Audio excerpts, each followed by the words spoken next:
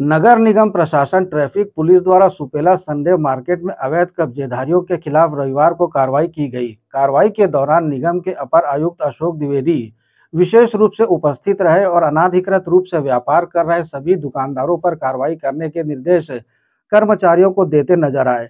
अशोक द्विवेदी ने बताया कि सड़क किनारे भी कब्जेधारी को व्यापार करने नहीं दिया जाएगा। मार्केट सुपेला में आज हमारे साथ मौजूद है नगर पालिक निगम भिलाई के अपर आयुक्त अशोक द्विवेदी जी।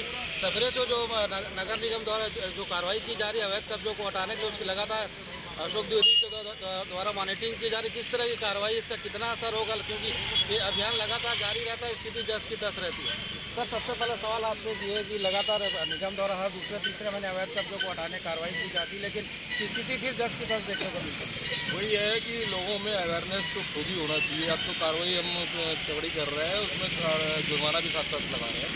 और ये सिर्फ़ संडे मार्केट की बात नहीं, ये पूरा जो रोड के किनारे सर्विस रोड में, चाहे वाहन हो, चाहे अतिक्रमण हो, चाहे वो ठेले हो वो यातायात के लिए हमको फ्री रखना है, सुगम रखना है और जो भी ये काम कर रहा है उसको हम बताएँगे। और ये कंटिन्यू चलेगा। और अगर दोबारा फिर ये करेंगे तो फिर इनको कार्रवाई होगी वैधानिक कार्रवाई करेंगे।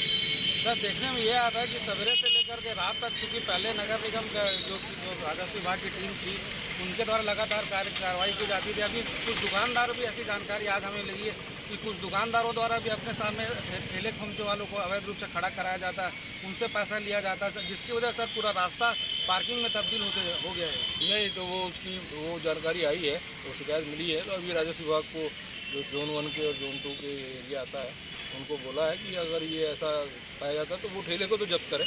अगर नहीं मानता है, वहाँ से हटता नहीं है तो जब्त करें, और ऐसा कोई दुकानदार कर रहा है तो उसके ऊपर भी कार्रवाई करेंगे। सर पुराना सुपेला मार्केट में नगर निगम द्वारा पार्किंग के लिए जगह उपलब्ध कराई गई थी, क्योंकि लगभग छः से आठ महीने पूर्व की बात है। लेकिन पार्किंग स्थल को सर बराबर नहीं किया गया, लेबल नहीं किया गया। आज वो निगम द्वारा कार्रवाई की जा रही है। क्योंकि अगर ये पार्किंग स्थल को अगर पहले बना दिया गया होता तो इस तरह की स्थिति निर्मित नहीं होती। कई चीज़ें होती हैं, तकनीकी भी बात होती है टेंडर का मैटर होता है, वो उसके बाद चुनाव भी आ गए। तो ये सब मैटर है, वो है पार्किंग के लिए उसको चिन्हित किया गया है। साथ साथ में उसमें शायद पानी टंकी भी होना है तो ये सब मैटर है। तो वो आगे जाके पता चल पाएगा सर आज की कार्रवाई के लिए क्या कहा जा सकता है कि अब इसका सुपेला की जो दोनों चौक से लेकर के गदा चौक की जो दोनों रास्ता है अवैध कब्जे देखने को नहीं, उस पर लगातार कार्रवाई करेंगे, लगातार। ये थे हमारे साथ नगर पालिक निगम भिलाई के अपर आयुक्त अशोक द्विवेदी जी, जिनका स्पष्ट रूप से कहना है कि लगातार मॉनिटरिंग की जाएगी। किसी तरह के अवैध कब्जे को नगर पालिका निगम प्रशासन बर्दाश्त नहीं करेगा। अवैध कब्जों जो करते हैं, सामने जो आते हैं, उनके खिलाफ कार्रवाई की जाएगी, जुर्माना वसूलने से लेकर के सामानों की जब्ती की कार्रवाई की जाएगी। अभी भी लगातार आप देख सकते हैं, यहाँ पे कई सारे अवैध रूप से सड़क किनारे वाहन खड़े हैं। इन्हें भी जब्ती बनाने के लिए अभी अभी अपर आयुक्त महोदय द्वारा क्रेन मंगाई गई है। अब क्योंकि अपर आयुक्त द्वारा द्वारा ये कहना कि अब इस तरह की स्थिति अवैध रूप से कब्जे कब्जेदारी उन्हें हटा हटाया जा रहा है। इस तरह से जाम, सड़क जाम की स्थिति देखने को नहीं मिलेगी। सुपेला चौक से गदा चौक तक यातायात की स्थिति सुगम और सुरक्षित रहेगी। ग्रैंड एशियन न्यूज़ के लिए संतोष शर्मा के साथ संजय दुबे।